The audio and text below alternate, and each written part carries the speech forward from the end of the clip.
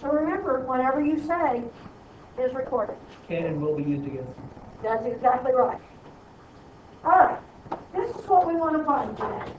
We want to find the cosine of, that says alpha plus beta. The fish is the Greek symbol alpha. Have you ever heard of the Greek symbol alpha? Yes. Where? Jesus is the alpha, and the omega. But what is after that? Alpha, the omega, the Beginning beginning, which means alpha is the very first letter of the Greek alphabet. The second letter is A. How it looks like a B is beta. Alpha and beta. All right? If we're going to find cosine of alpha plus beta, we need to know something about those angles. So I'm going to tell you alpha is in quadrant three, and the sign is negative three fifths. Beta is in quadrant two, and the cosine of beta is negative three fourths.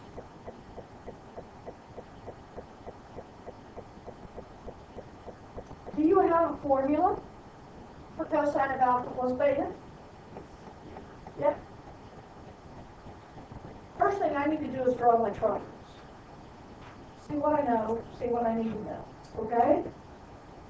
You know how to draw triangles? Yep. Alpha's in quadrant three. What do I know about alpha?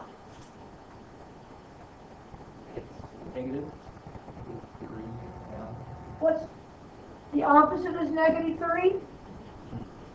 What else do I know? Minus is five. And what else do I know? It's got a negative x. Which is what?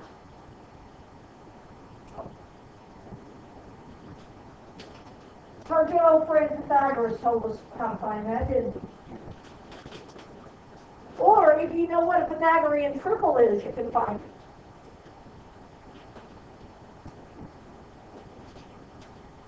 You don't know that three, four, five is a Pythagorean triple?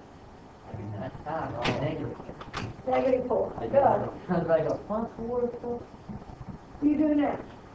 Everybody agree with that? Yes. Theta is in quadrant two. Now, when I draw these triangles, you notice I'm marking which one is alpha and which one is beta. What do I know about beta?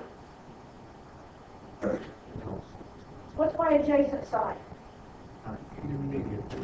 What else do I know?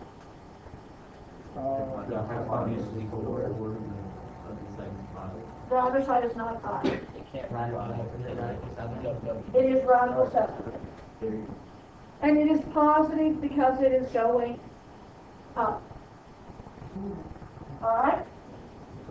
So, now that I have my triangles drawn, is the formula for cosine of alpha plus beta, cosine alpha, cosine beta, minus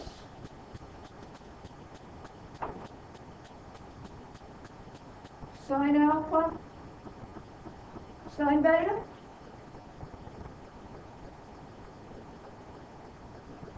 Do you remember that, or look it up, or something?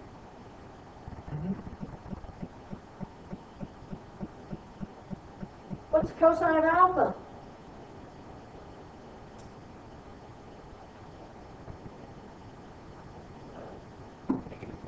Negative four fifths. What's cosine of beta? Negative three fourths.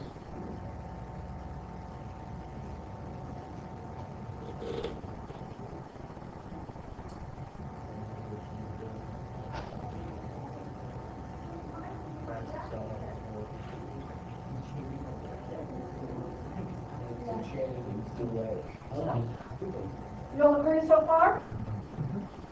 Minus, what's the sine of alpha? Negative three fifths. radical seven oh four.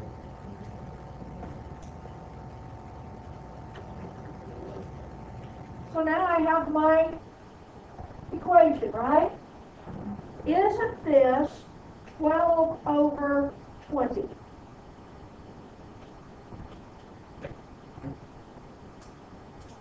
Plus 3 radical 7 over 20. So the cosine of alpha plus beta is 12 plus 3 radical 7 Oh, which one? Might be, I don't know, that's.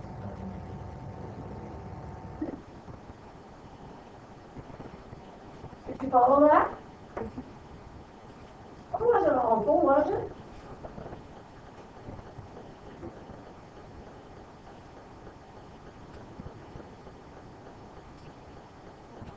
Can we do another one? Some people are still writing. Let me give me a... microphone is not working.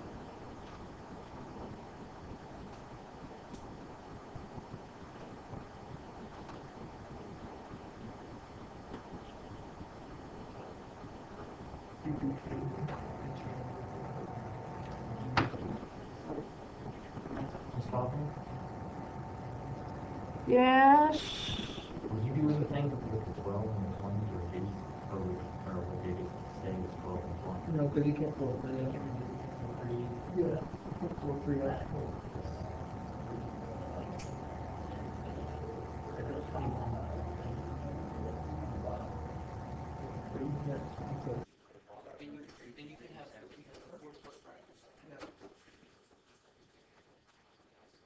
Now it's working. They're gonna miss the sound on the first one, but, oh well. You ready to do another one now? All right. This time, we're gonna do a tangent one. We're gonna do tangent of alpha minus beta. You all know this formula, right? Good. we know the sine of alpha is 8 seventeenths. And I'm in quadrant 2.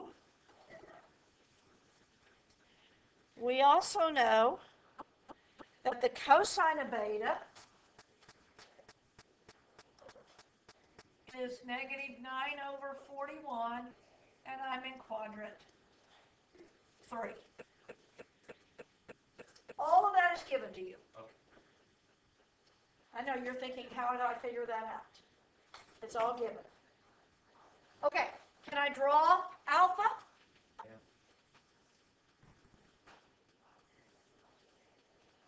This is alpha.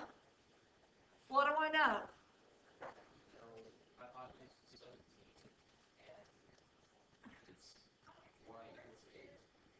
Opposite? Opposite is eight? What's the adjacent?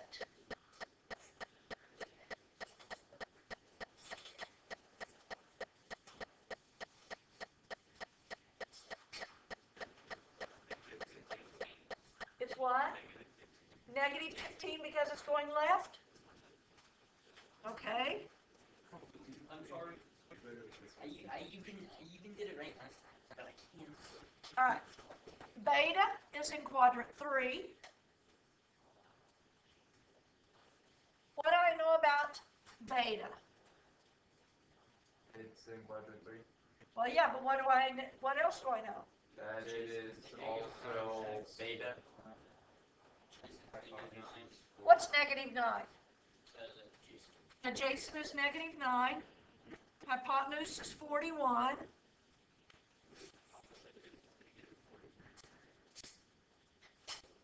Is it negative forty? yeah. Okay. So, tangent of alpha minus beta. Isn't that tan alpha minus tan beta over 1 plus tan alpha tan beta? Right? What is tan alpha? Negative Eight fifteen over over eight, seventeen. So that's eight negative fifteen over eight. I think it's negative eight fifteenths, isn't it? Minus, what's tan beta? Uh, forty over nine. Do you agree? Forty over nine? All over one plus negative eight fifteenths times forty over nine?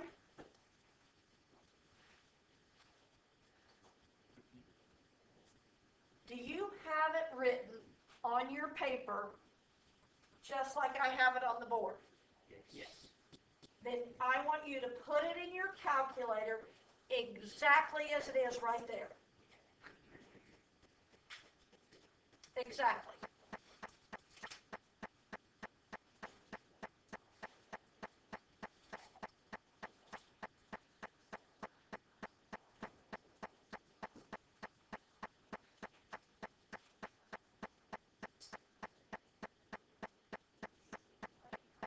Sure you all can all do this.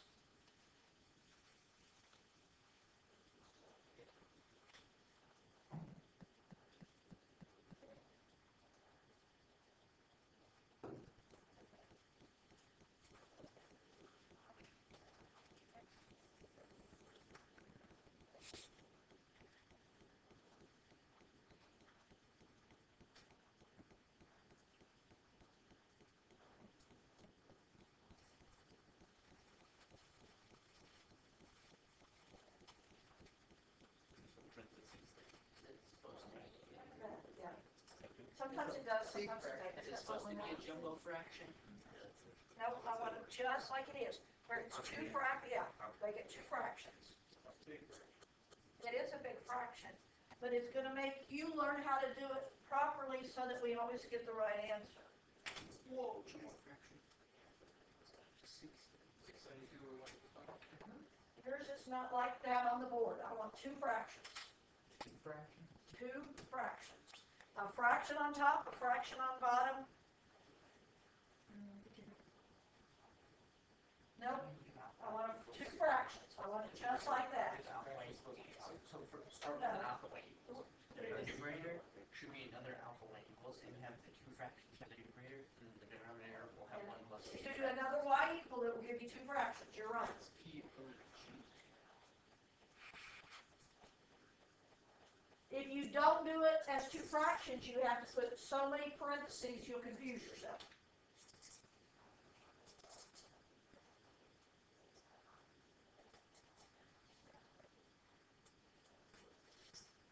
There you go, that's how you want it.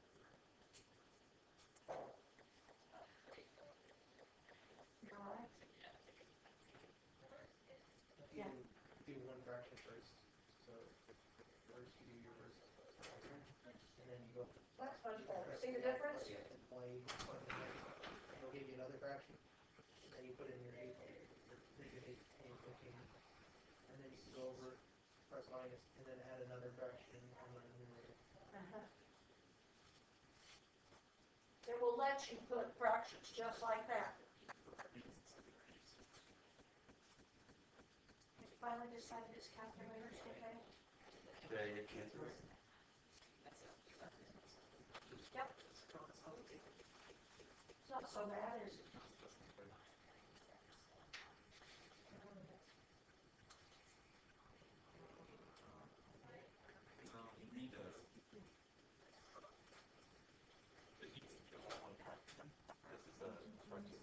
Well, we don't want it in white. You don't want that, Let's do that. that's all over. So we have a fraction. Next, in this, my big fraction, I have a fraction on top. So if I do it again, so see now I have, so it says that.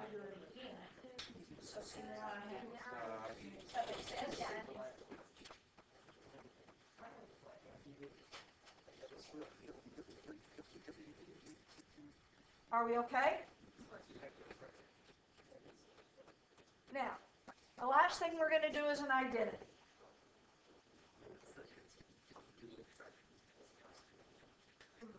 the last thing we're gonna do is an identity. You remember doing identities?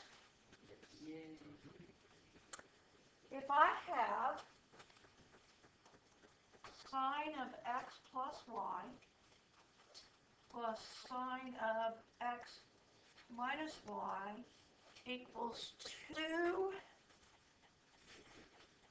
sine x cosine y.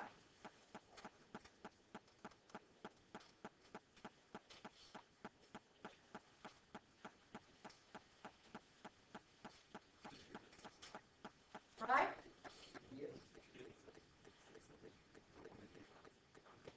I was the ones I were looking at, they all right answer. All right. Aren't we doing sum and difference identities? Isn't that, isn't that what we're doing? Yes. No, we're not using, done doing double angle. No, it's not, it's part of some identity. We have all, if, if we haven't gone over them, you can't use them. All right? We're doing sum and difference. Isn't that what we've been doing? So I'm gonna have to use sum and difference in order to solve these. I can only work one side, same rule. But, is this an identity? Is this an identity? So that's what I'm gonna use. Is it sine of x plus y? Sine x cosine y plus cosine y sine x. Isn't it? It's not? Then you just. No, I did it backwards, didn't I? X and cosine y again. Yes, I did. My fault. Plus, how about sine y cosine x? That's, There we go. Plus, what is this one? Sine x cosine y minus Minus sine y cosine x?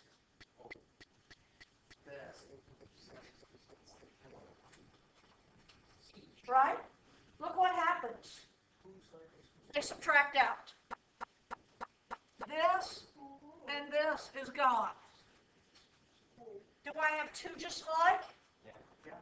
So do I have two sine x cosine y equals two sine x cosine y?